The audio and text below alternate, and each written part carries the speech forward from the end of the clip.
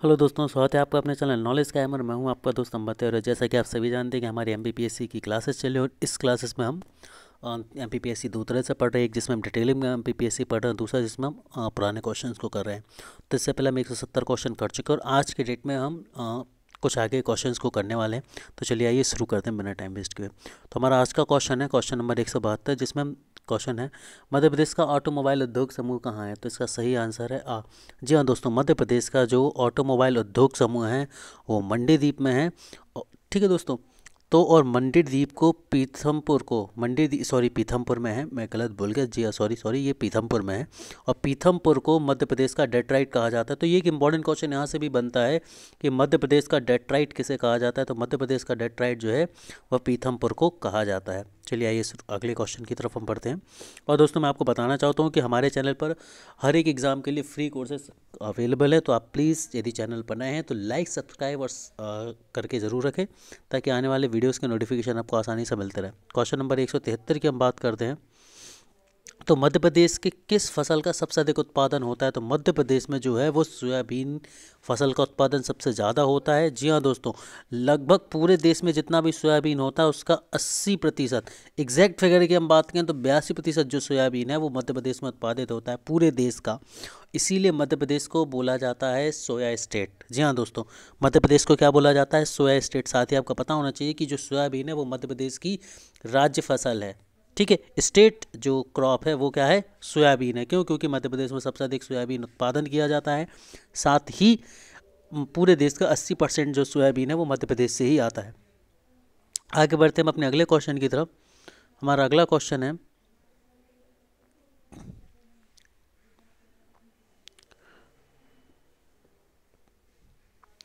एक सौ पचहत्तरवा क्वेश्चन कि देश में निम्न मध्य प्रदेश में निम्न खनिजों में से सबसे बड़ा उत्पादक किसका है? तो यदि हम बात करें तो जो मध्य प्रदेश में सबसे बड़ा उत्पादक जो है वो तांबा और हीरा का है। जी हाँ दोस्तों, मध्य प्रदेश से सबसे अधिक तांबा और हीरा मिलता है और वही हम बात करें हीरा की तो हीरा पर मध्य प्रदेश का एक अधिकार है। और यहीं से आपको याद रखना होगा कि जो कोहिनूर हीरा है, कोहिनूर हीरा है वो मध्य प्रदेश की खदान मध्य प्रदेश में जो पन्ना है, पन्ना की खदानों से ही निकला है। और सबसे पहले ग्वालियर के राजा के पास रहा भी था। यदि आप हिस्ट्री में पढ़ेंगे तो पता चलेगा आपको। चलिए हम आगे बढ़ते हैं और क्वेश्चन नंबर एक सौ छिहत्तर के हम डिस्कस करते हैं कि मध्य प्रदेश की ग्यारहवीं पंचवर्षीय योजना में निम्न में से किस क्षेत्र में सर्वाधिक आवंटन किया गया था? तो ग्यारहवीं जो पंचवर्षीय योजना थी, उसमें सबसे अधिक जो आवंटन किया गया था, वो सिंचाई में किया गया था। यहाँ पर आवंटन से मतलब ये है कि जो पंचवर्षीय योजना है उसमें जो भी बजट एलोकेट किया जाता है, उस बजट का मुख्य रूप से ज़्यादातर जो भाग होता है, वो किसको दिया जाएगा? सिंचाई को दिया जाता है। ठीक है दोस्तों? तो ज़रा हम इसको डिटेलिंग कर लेते हैं यहाँ पर कि सिंचाई तथा बाढ़ नियंत्रण के लिए जो ग्यारहवीं पंचवर्षीय योजना थी, उसमें बहत्तर अरब साठ करोड़ संतावन लाख रुपए रखे गए थे। और ग्यारहवीं में की बात करें तो इक्यावन अरब दो करोड़ इकसठ हज़ार रुपये है। ठीक है दोस्तों? चलिए हम आगे बढ़ते हैं और अगले क्वेश्चन को डिस्कस करते हैं हमारे। तो हमारा अगला क्वेश्चन है, निम्नलिखित में से किस स्थान पर विद्युत उत्पादन हेतु 500 मेगावाट की इकाई जो है वो स्थापित की गई? तो इसका आंसर है वीर सिंहपुर। जी हाँ दोस्तों, वीर सिंहपुर में, वीर सिंहपुर है एक्चुअल में ये। यहाँ पर 500 मेगावाट की जो है इकाई जो है स्थापित करी गई थी। हम आगे बढ़ते हैं और अगले क्वेश्चन की तरफ़ चलते हैं। अगला क्वेश्चन है, निम्नलिखित में से किस ज़िले का लिंग अनुपात सबसे प्रतिकूल है एडवर्स है, सबसे कम है। तो जी हाँ दोस्तों, जो मुरैना क्षेत्र है, वहाँ पर लिंग अनुपात सबसे कम है और जो बालाघाट है, वहाँ पर लिंग अनुपात सबसे ज़्यादा है, जो कि दस सौ इक्कीस के लगभग है। तो बालाघाट में लिंग अनुपात सबसे अधिक है और मुरैना में लिंग अनुपात जो है, वो सबसे कम है, जो कि कितना है? आठ सौ बाईस है। जी हाँ दोस्तों, मुरैना में आठ सौ बाईस है तो आपको याद रखना होगा, बालाघाट में सर्वाधिक है और मुरैना में सबसे कम है। और ये आंकड़े जो हैं, वो 2011 की जनगणना पर आधारित है पूर्ण रूप से। आगे बढ़ते हमारे अगले क्वेश्चन की तरफ़। हमारा अगला क्वेश्चन है, निम्नलिखित में से किस ज़िले में साक्षरता दर है, वो सर्वाधिक है? तो इसका सही आंसर है जबलपुर। ये दोस्तों एक्चुअल में 2008 का ये क्वेश्चन है। अब देखिए, यहाँ पर इन क्वेश्चन को पढ़ते समय आपको एक चीज़ ध्यान रखनी होगी कि ये जो क्वेश्चन है एमपीपीएससी में 2008 में आया था। तो यदि हम 2008 में हुए क्वेश्चन की बात करें तो 2008 से पहले जो जनगणना हुई होगी, उस जनगणना पर आधारित तथ्य है लेकिन यदि यही क्वेश्चन दो 2020 के एम के एग्ज़ाम में आना है तो 2020 के एम के पहले जो भी जनगणना हुई है, वो 2011 की जनगणना हुई, और 2011 की जनगणना के आधारित फैक्ट यहाँ पर पूछे जाएँगे। तो यदि ये क्वेश्चन इस बार एग्ज़ाम में आता है कि किस ज़िले में साक्षरता दर सर्वाधिक है तो आपको याद रखना होगा, जबलपुर में जो है वो साक्षरता दर सबसे अधिक है। अब साक्षरता दर में तीन तरह के क्वेश्चन बन सकते हैं कि पहली चीज़ है ओवरऑल साक्षरता दर, महिला और पुरुषों की मिला के तो वो जबलपुर में है। उसके बाद आता है, पुरुषों की साक्षरता दर सबसे अधिक कहाँ है? तो ये भी जबलपुर में है। और यदि पूछा जाए, महिलाओं की साक्षरता दर सबसे अधिक कहाँ है? तो ये भोपाल में है। 2011 की जनगणना के अनुसार ये आंकड़े हैं। ओवरऑल जबलपुर, पुरुषों की जबलपुर और महिलाओं की भोपाल में है। तो ये चीज़ें आपको याद रखनी चाहिए। आगे बढ़ते हैं हम। अगले क्वेश्चन की तरफ़ कि मध्य प्रदेश में कितने ज़िले एनआरआईजी के अंतर्गत शामिल किए गए हैं? तो मध्य प्रदेश में सभी ज़िलों को एन के अंतर्गत शामिल किया गया और यहाँ पर एन का फुल फॉर्म क्या है? राष्ट्रीय ग्रामीण रोज़गार गारंटी योजना National Rural Employment Guarantee Act ठीक है दोस्तों, जो कि 2006 में शुरू किया गया था और यहाँ पर ये मध्य प्रदेश के ही नहीं, देश के सभी ज़िलों में लागू है और इसके अनुसार प्रत्येक गाँव में, प्रत्येक हाउस होल्ड में, प्रत्येक किसी एक व्यक्ति को कम से कम सौ दिनों का रोज़गार गारंटीड रूप से दिया जाता है। चलिए, आगे हम बढ़ते अगले क्वेश्चन की तरफ़ कि निम्नलिखित में से कौन सा शहर है जो J N J N N U R M में शामिल नहीं है? तो यहाँ पर हम बात करें, ये जो चारों शहर ऑप्शन में दिए गए हैं, ये चारों के चारों शामिल हैं। चलिए, आगे बढ़ते हम। एक सौ तिरासीवा क्वेश्चन जो है, भोपाल गैस त्रासदी के दौरान जो गैस निकली थी, वह कौन सी थी? तो ये काफ़ी कॉमन सा क्वेश्चन है। भोपाल गैस त्रासदी के दौरान जो गैस निकली थी, वो थी मिथाइल आइसोसाइनेट जी हाँ दोस्तों, मिथाइल आइसोसाइनेट जो थी, इस गैस का रिसाव हुआ था और यह जो घटना हुई थी, ये दुखद घटना तीस, तीन दिसंबर उन्नीस सौ चौरासी की रात में हुई थी। ठीक है दोस्तों, और यह यूनियन कार्बाइड के प्लांट में हुई थी। तो ये तीनों चीज़ें आपको याद रखनी चाहिए। खैर, ये काफ़ी कॉमन क्वेश्चन है तो इसके आने की संभावना काफ़ी कम है। चलिए आगे बढ़ते हैं। उन एक सौ चौरासी क्वेश्चन की हम बात करते हैं कि मध्य प्रदेश में न्यूज़ प्रिंट का कारखाना कहाँ पर स्थित है? तो मध्य प्रदेश में न्यूज़ प्रिंट का जो कारखाना है, वो नेपा नगर में स्थित है। और देवास की हम बात करें तो देवास में हमारे करेंसी प्रिंटिंग प्रेस का कारखाना स्थित है। तो ये दोनों चीज़ें आपको याद रखनी चाहिए। यहाँ पर लिखी हुई है मैंने ओरिएंटर पेपर मील अम्बलाई जो अनूपपुर में है, ये प्रेस न्यूज़ प्रिंट कारखाना है। बैंक नोट प्रेस देवास में और सिक्योरिटी पेपर मिल जो है, वो होशंगाबाद में तीनों काफ़ी ज़्यादा इंपॉर्टेंट प्लेसेस हैं, आपको याद रखने चाहिए। आगे बढ़ते हैं हम।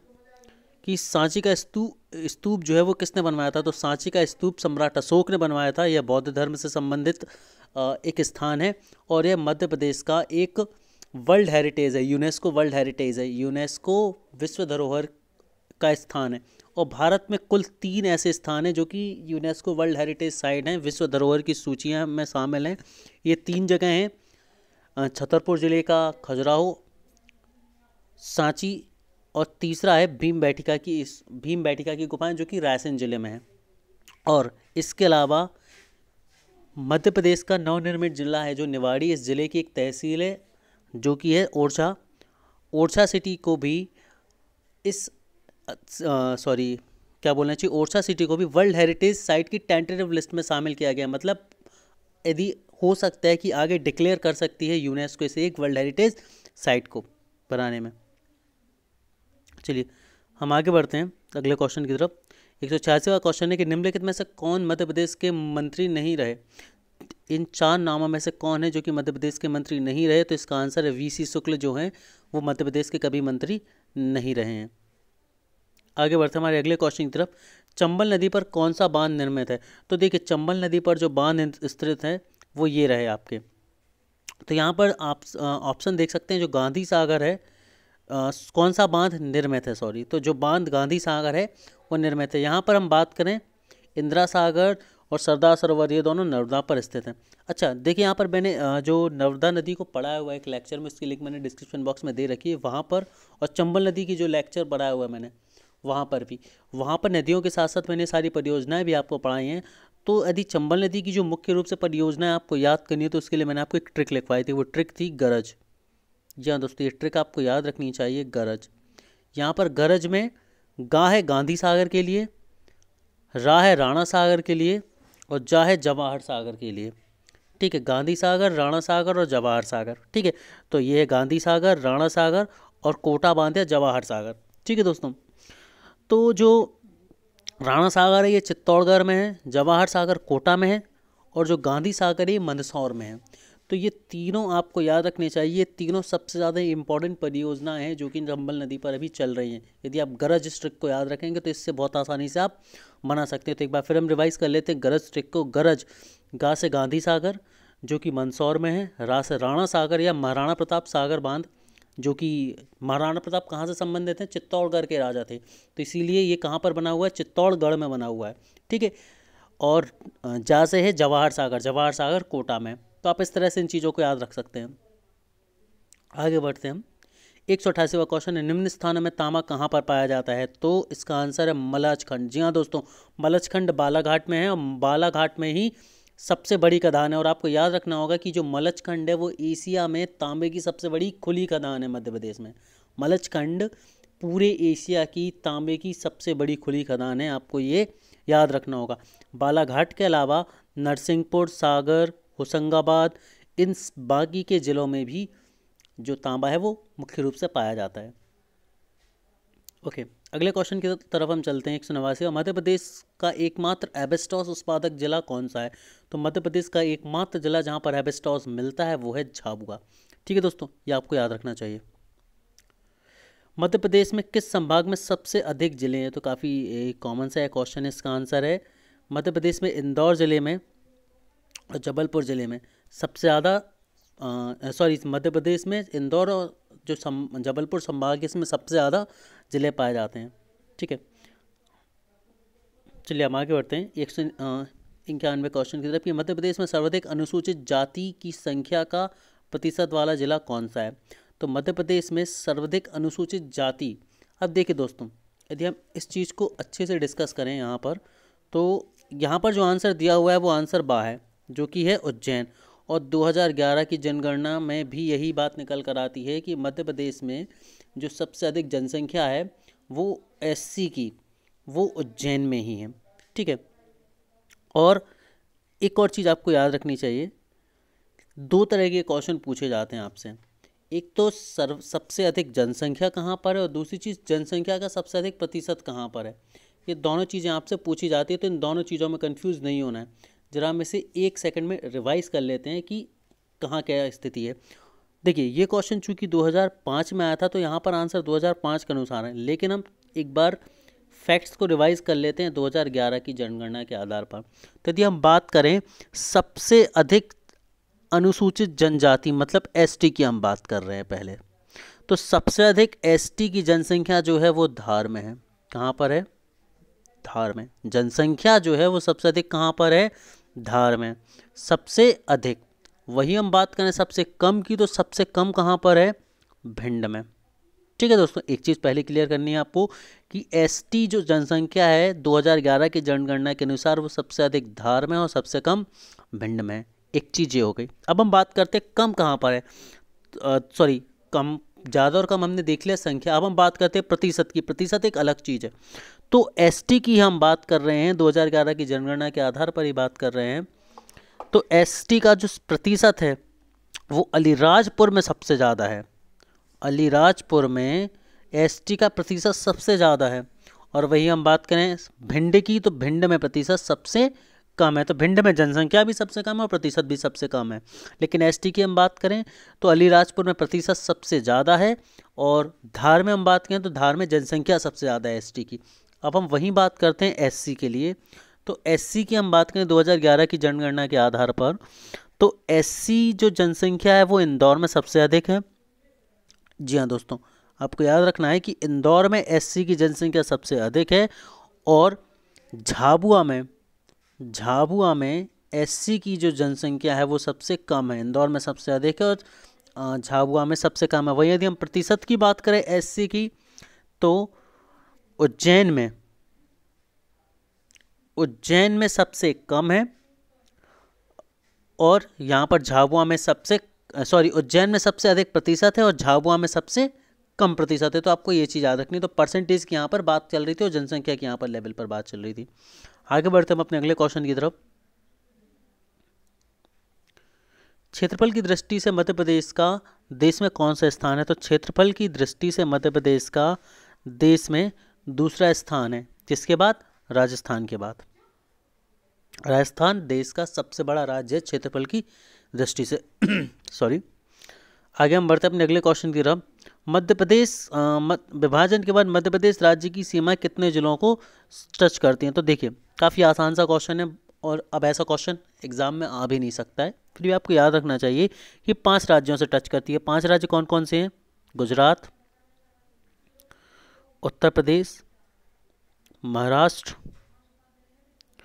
और छत्तीसगढ़। ठीक है? तो यहाँ पर और राजस्थान।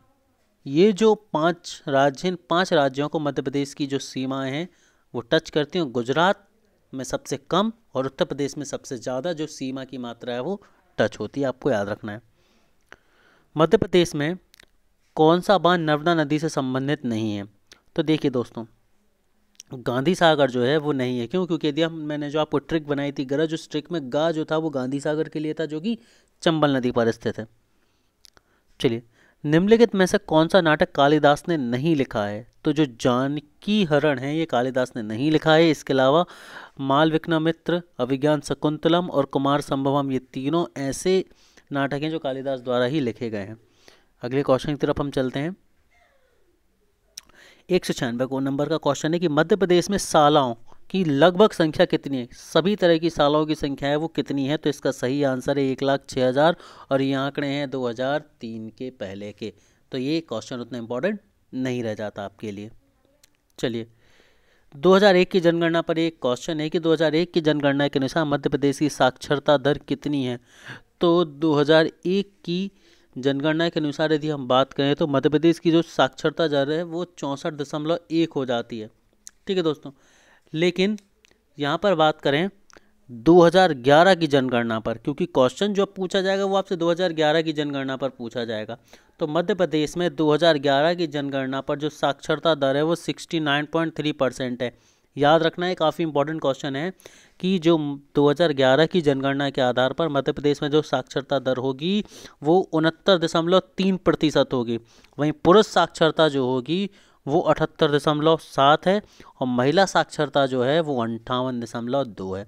आपको याद रखने हैं ओवरऑल कितनी है? सिक्सटी नाइन पॉइंट थ्री उनहत्तर दशमलव तीन। पुरुष की है सेवेंटी एट पॉइंट सेवन अठहत्तर दशमलव सात और महिलाओं की है फिफ्टी एट पॉइंट टू अंठावन दशमलव दो। और ये आंकड़े हैं दो हज़ार ग्यारह की जनगणना के आधार पर, आपको नोट कर लेने चाहिए। काफ़ी ज़्यादा इंपॉर्टेंट आंकड़े हैं। अब आगे हम बात करते हैं, मध्य प्रदेश में छत्तीसगढ़ के गठन के पश्चात कितने ज़िले थे? तो देखिए दोस्तों, यदि आपको ये चीज़ पढ़नी है तो आप हमारे वीडियो को देख सके ऑलरेडी मैंने मध्य प्रदेश के गठन पर एक वीडियो बनाया हुआ है, और वहाँ पर काफ़ी अट्रैक्टिव वे में आपको बताया है कि मध्य प्रदेश का गठन किस तरह से हुआ था। तो एक नवंबर 2001 में जब नवीन मध्य प्रदेश बना था, सन 2000 में जब नवीन मध्य प्रदेश बना था तो उस समय मध्य प्रदेश में विभाजन के पहले इकसठ ज़िले थे, ठीक है, और विभाजन इस तरह हुआ था कि सोलह ज़िले थे जो, वो छत्तीसगढ़ को दिए गए तो पैंतालीस ज़िले थे, वो मध्य प्रदेश में रह गए थे। तो ये आपको याद रखना है कि विभाजन के समय मध्य प्रदेश में पैंतालीस ज़िले बच गए थे जब छत्तीसगढ़ अलग हुआ था यहाँ से। अगला क्वेश्चन है, खजुराहो के मंदिर के बनाने वाले कौन से परिवार के राजा थे? तो जो खजुराहो का मंदिर बनाया गया था, वो चंदेल वंश के राजाओं के द्वारा बनाया गया था, जो कि 1950 से 1050 के बीच बनाया गया था। चलिए, अगले क्वेश्चन की हम बात करते हैं क्वेश्चन नंबर दो हज़ार दो सौ। काफ़ी इंपॉर्टेंट क्वेश्चन है कि ताप्ती नदी का उत्गम कौन से ज़िले से होता है? तो इसका सही आंसर है सा, बैतूल। जी हाँ दोस्तों, ताप्ती नदी का जो उद्गम है, वो बैतूल ज़िले से होता है और इसकी कुल लंबाई 724 किलोमीटर है और यह खम्बात की खाड़ी में जाकर गिरती है। यह ताप्ती नदी, यदि हम बात करें जो ताप्ती नदी है, वो नर्मदा नदी के साथ ऐसी दूसरी नदी है जो पूर्व से पश्चिम की दिशा में बहती है। बाकी सारी नदियाँ पूर्व की तरफ़ बह जाती हैं। चलिए, आगे बढ़ते हैं। वीरेंद्र कुमार सक्चेला के पश्चात मध्य प्रदेश के मुख्यमंत्री कौन बने थे? तो वीरेंद्र कुमार सक्चेला के पश्चात सुंदरलाल जो पटवा थे वो मध्य प्रदेश के मुख्यमंत्री बने थे। चलिए आइए, ज़रा हम एक क्रम जिसे डिस्कस कर लेते हैं। ये ज़रूरी क्रम है मुख्यमंत्रियों का क्रम। तो बात करें कैलाश जोशी, जो छब्बीस छः उन्नीस से सत्रह एक अठहत्तर तक थे। उसके बाद आए थे वीरेंद्र कुमार सक्चेला आए थे, जो कि 18 जनवरी उन्नीस सौ अठहत्तर से 19 जनवरी 80 तक रहे थे। उसके अलावा सुंदरलाल पटवा, जो 20 जनवरी 80 से लेके सत्रह फरवरी अस्सी तक रहे थे। ये काफ़ी छोटे कार्य समय के तक के लिए रहे थे। उसके अलावा राष्ट्रपति शासन लगा रहा था अगले चार महीने मतलब अठारह दो उन्नीस सौ अस्सी से आठ छः उन्नीस सौ अस्सी तक राष्ट्रपति शासन था। और राष्ट्रपति शासन के बाद अर्जुन सिंह जी बने थे मध्य प्रदेश के मुख्यमंत्री, जो कि एक फुल फ्लैज और जिन्होंने अपना पूरा कार्यकाल पूरा किया था अस्सी से लेकर उन्नीस सौ अस्सी से लेकर उन्नीस सौ पचासी तक। तो आपको याद रखने चाहिए। आगे हम बढ़ते अगले क्वेश्चन की तरफ़ कि निम्नलिखित में से कौन सा नगर जिला मुख्यालय नहीं है मध्य प्रदेश में तो इसका आंसर है इटारसी जी हाँ दोस्तों इटारसी जो है, वो जिला मुख्यालय नहीं है। 2003 की हम बात करते हैं कि मध्य प्रदेश तथा छत्तीसगढ़ के किस ज़िले में कोयला खनिज के रूप में नहीं मिलती है? तो मध्य प्रदेश में रीवा में जो कोयला खनिज है, वो नहीं पाया जाता है। चलिए, आगे अगला क्वेश्चन की हम चलते हैं कि इस्पात भिलाई कारखाने का उत्पादन कब शुरू हुआ था? तो इस, जो भिलाई इस्पात कारखाने में जो उत्पादन था, वो उन्नीस सौ छप्पन में शुरू किया गया था। और उन्नीस सौ छप्पन में ही हम सभी को पता है कि मध्य प्रदेश का गठन हुआ था। और ये जो उन्नीस सौ छप्पन का गठन था, यह भाषाई आधार पर किया गया था। तो ये आपको याद रखना, उन्नीस सौ छप्पन के आसपास जितने भी राज्यों का गठन किया गया था, ये सभी के सभी राज्य भाषाई आधार पर गठित किए गए थे। चलिए, अब हम बात करते हैं मध्य प्रदेश में कौन से ज़िले में अफीम की बोई जाती है। तो देखिए, आपको इसके लिए मैंने एक ट्रिक दी थी। अफीम और गांजा दो चीज़ें हैं। ठीक है तो अफीम माँ पर ख़त्म होता है तो यहाँ पर आंसर है मंदसौर और खंडवा में जो होता है वो गांजा होता है। जो गांजा होता है वो मुख्य रूप से खंडवा में होता है, और अफीम जो होता है वो मुख्य रूप से मंदसौर में होता है, और ये दोनों फ़सलें एग्ज़ाम में पूछी जाती हैं। लास्ट ईयर भी पूछी गई थी, लास्ट ईयर का मतलब जब लास्ट टाइम 2018 में एम पी एग्ज़ाम हुए थे तब। चलिए, अगले हम बात करते हैं कि ग्वालियर की ग्वालियर राज्य की स्थापना किसने की थी? तो ग्वालियर राज्य की स्थापना महादजी सिंधिया जी ने की थी। और जी हाँ दोस्तों, जो सिंधिया परिवार है, वही चला आ रहा है अभी तक ग्वालियर में। चलिए, अगले क्वेश्चन की हम बात करते हैं। निम्नलिखित में से कौन सा नाम सामान्यतः साड़ी के लिए प्रयोग नहीं होता है? तो हम बात करें चाँद जो यहाँ पर ऑप्शन है, वो है चंदेरी, बनारसी, मुरादाबादी और कांजीवरम। तो इसका सही आंसर है बाप जो कि है मुरादाबादी। चलिए आगे हम अगले क्वेश्चन की तरफ़ बढ़ते अपने 2000 208 क्वेश्चन की तरफ़, कि निम्नलिखित में से कौन सी जनजाति मध्य प्रदेश में पाई जाती है? तो इसका आंसर है बा, बैगा, सहरिया, गोंड, कोल। ये जो चार जनजातियाँ हैं, ये मध्य प्रदेश में मुख्य रूप से पाई जाती हैं। चलिए, आगे बढ़ते हैं हम क्वेश्चन नंबर दो हज़ार दो सौ नौ के ऊपर। निम्नलिखित में से कौन सरदार सरोवर परियोजना के विरोध में है? थे। तो इसका आंसर है द, मेधा पटकर जो थी, वो सरदार सरोवर बाँध परियोजना के विरोध में रही थी। चलिए हम आगे बढ़ते हैं। नेक्स्ट क्वेश्चन बिखरे मोती के रचयिता कौन है? तो बिखरे मोती की रचयिता श्रीमती सुभद्रा कुमारी चौहान जी हैं। वह हमारा अगला क्वेश्चन है कि मध्य प्रदेश के प्रथम मुख्यमंत्री कौन थे? तो ये काफ़ी कॉमन सा क्वेश्चन है। पंडित रविशंकर शुक्ल थे, वो मध्य प्रदेश के प्रथम मुख्यमंत्री थे। चलिए आगे बढ़ते हैं। बूढ़ा देव मध्य प्रदेश की किस राजनीति के प्रमुख देवता हैं? बूढ़ा देव मध्य प्रदेश की किस राजनीति के प्रमुख देवता हैं? यहाँ पर ये राजनीति गलत लिखा है दोस्तों जनजाति होना चाहिए यहाँ पर। तो जो बूढ़ा देव थे, वो बैगा जनजाति के प्रमुख देवता हैं। मतलब बैगा जनजाति के लोग प्रमुख रूप से बूढ़ा देव को पूछते हैं। हम वहीं आगे अगले क्वेश्चन की तरफ़ चलते हैं। Laxmibai college of physical education कहाँ पर स्थित है? तो जो Laxmi, Laxmibai college of physical education है, ये ग्वालियर में स्थित है। आगे बढ़ते हैं हम अपने अगले क्वेश्चन की तरफ़ कि मध्य प्रदेश के किस ज़िले में जनजातियों की संख्या का प्रतिशत सबसे अधिक है?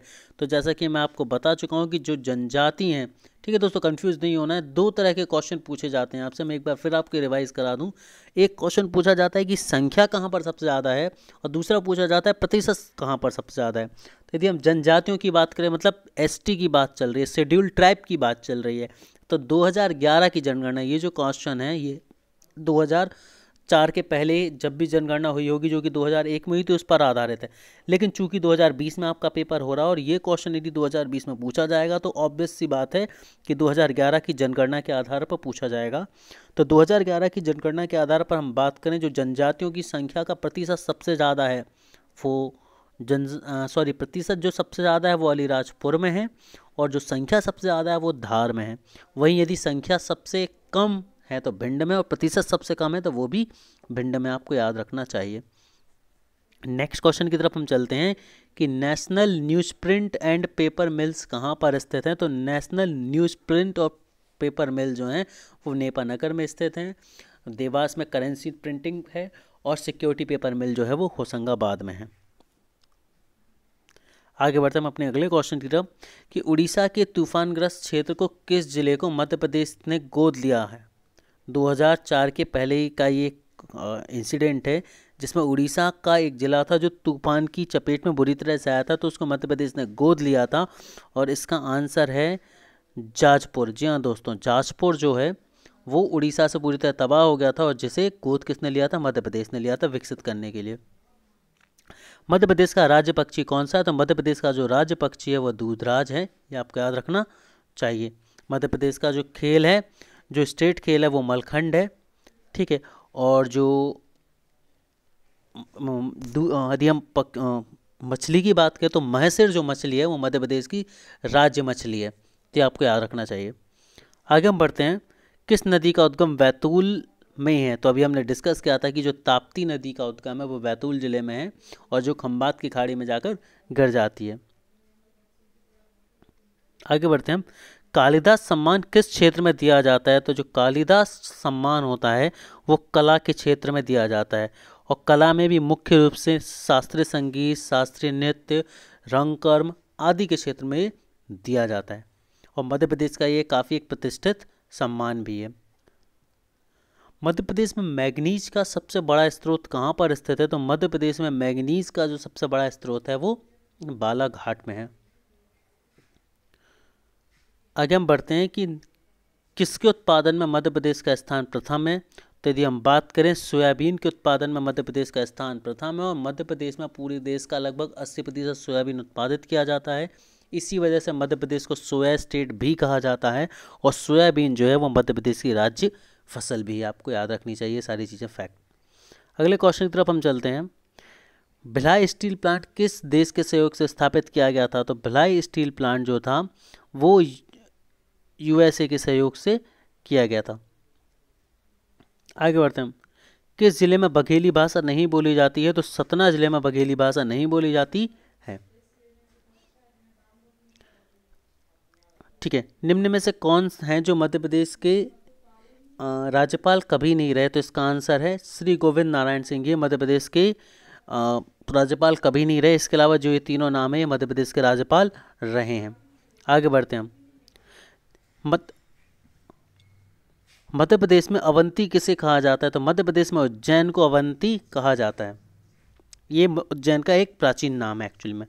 चचाई जलप्रपात, किस ज़िले में है? तो चचाई जलप्रपात जो है वो रीवा ज़िले में है और चचाई जलप्रपात की जो ऊंचाई है वो 130 मीटर है और यह मध्य प्रदेश का सबसे ऊँचा जलप्रपात है और यह बीहड़ नदी के द्वारा बनाया जाता है। जी हाँ दोस्तों, बीहड़ नदी के द्वारा बनाया जाता है जो कि एक चंबल की सहायक नदी है तो इस तरह से इसको ऐसा भी माना जा सकता है कि चंबल नदी पर बनने वाला है चंबल नदी के द्वारा बनाया जाने वाला जलप्रपात है।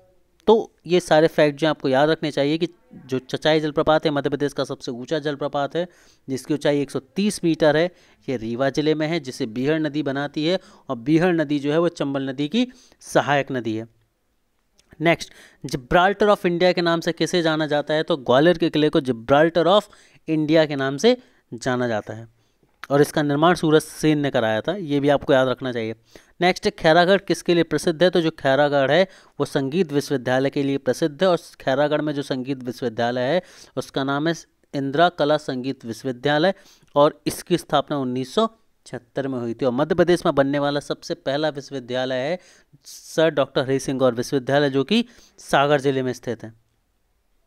आगे हम बढ़ते हैं। अच्छा साथ में आपको याद भी रखना होगा कि डॉक्टर हरी सिंह और विश्वविद्यालय की जो स्थापना हुई थी, वो उन्नीस सौ छियालीस में हुई थी। मध्य प्रदेश के किस राष्ट्रीय उद्यान को प्रोजेक्ट टाइगर में सबसे पहले शामिल किया गया था?